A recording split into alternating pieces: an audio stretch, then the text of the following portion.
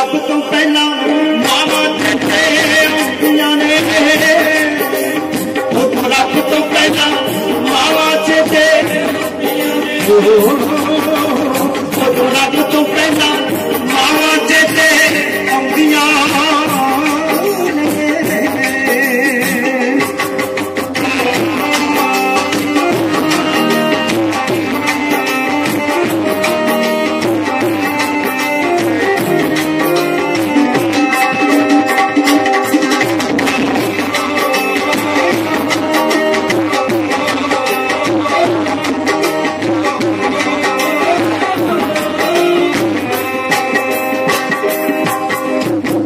ਵਿੱਚ ਪਰਦੇਸਾਂ ਰੱਖੜੀਓ ਸੁਨਾ ਗੁੱਟ ਹੋਵੇ।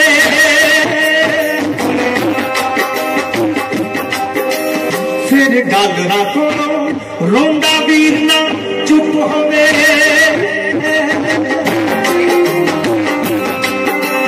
ਜਦ ਵਿੱਚ ਪਰਦੇਸਾਂ ਰੱਖੜੀਓ ਸੁਨਾ ਗੁੱਟ ਹੋਵੇ। ਫਿਰ ਗਾਲਣਾ ਕੋਲੋਂ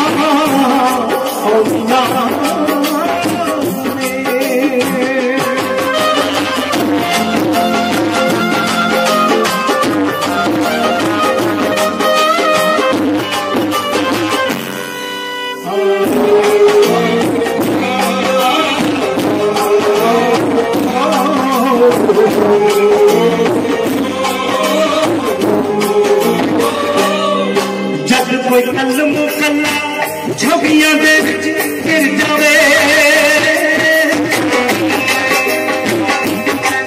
ਬੋਲ ਸ਼ਰੀਕ ਦਾ ਸੀਨੇ ਆਰੀ ਵਾਂਗੂ ਫਿਰ ਜਾਵੇ।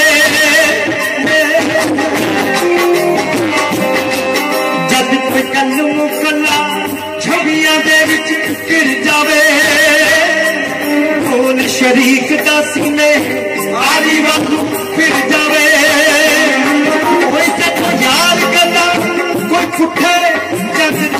देंगे